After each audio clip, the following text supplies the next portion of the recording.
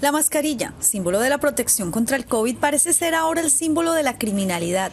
Y luego del asesinato de un bodeguero en el exclusivo sector del Upper East Side en Manhattan a manos de este sospechoso que tenía cubierto el rostro con una mascarilla, el alcalde está haciendo una solicitud inusual a los clientes que se quiten las máscaras para prevenir el crimen, algo que secunda la Asociación de Bodegueros de la ciudad. Ya mandamos a hacer uno sticker donde se le va a pedir, donde se va a poner las puertas, en, en los negocios, para pedirle a la persona que por favor se quite la mascarilla antes de entrar.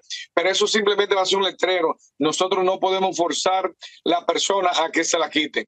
Considerado como un revés a la prevención contra el COVID, muchos empleados de establecimientos y atemorizados por la ola de crímenes que ha aumentado en más de un 25% en comparación con el año pasado, prefieren tomar el riesgo pero proteger sus vidas. Deberían poner un registro a la entrada de toda tienda para que cada persona que porte una máscara, que no sea una persona que trabaje en la institución o en la tienda donde están laborando, que se quiten la máscara, se identifiquen para que quede grabado su su face y puedan ingresar libremente, tranquilamente.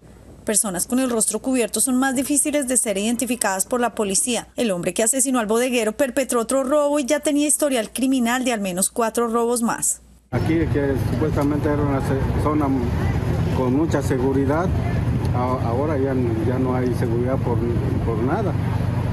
Esto, esto en, en 15 años que yo tengo, 15, 16 años que yo tengo trabajando por acá, Nunca había escuchado una cosa así.